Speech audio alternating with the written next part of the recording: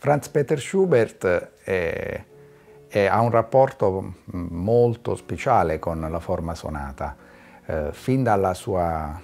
immediata giovinezza, fin dal 1815 cominciava a comporre movimenti e poi ad assemblare movimenti di sonata eh, addirittura senza portarli al termine, alcuni portandoli soltanto allo stato di abbozzo, di frammento, oppure di movimenti separati collegati soltanto da un'idea di tonalità o di relazioni armoniche.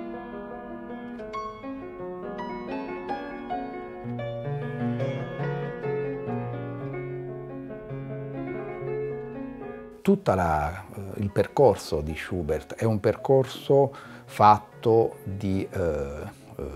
come un viandante, qual era appunto la sua estetica, l'estetica del lead, del Wanderer, l'estetica di tutto ciò che va percorso eh, sia da un punto di vista formale che da un punto di vista armonico.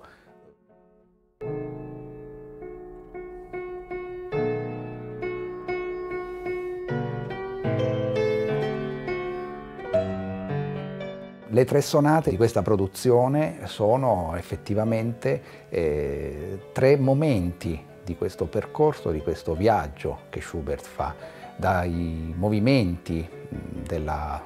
sonata Deutsch 157 in Mi maggiore, con un secondo tempo che sicuramente fa, mette a frutto l'esperienza quartettistica che Schubert aveva già cominciato a esplorare, eh, finendo con un movimento che non è effettivamente un finale, ma sembra eh, debba preludere a un rondò, a un allegro finale che invece rimane sospeso in questa forma di minuetto scherzo, quale era appunto un movimento ibrido che era al terzo posto nella sequenza dei movimenti nella sonata classica viennese.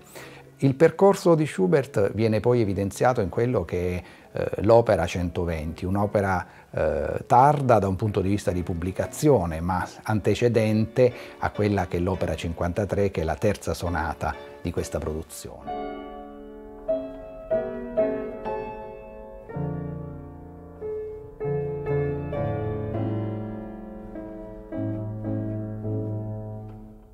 Sicuramente mh, è difficile fare un discorso su quelli che sono i, i pianoforti di Schubert. Eh, lui non ne possedette pressoché nessuno, ma sicuramente conosceva molto bene quello che era la qualità del suono, la qualità anche della fattura della produzione dei pianoforti a Vienna. Eh, il pianoforte di questa produzione è una copia Graf costruita da Andrea Restelli e sicuramente ricostruisce e soprattutto dona all'ascoltatore, oltre che all'esecutore, quelle sensazioni di trasparenza, anche di tragicità e anche di quelle che sono le, eh, le ambiguità che la, lo spirito schubertiano contiene.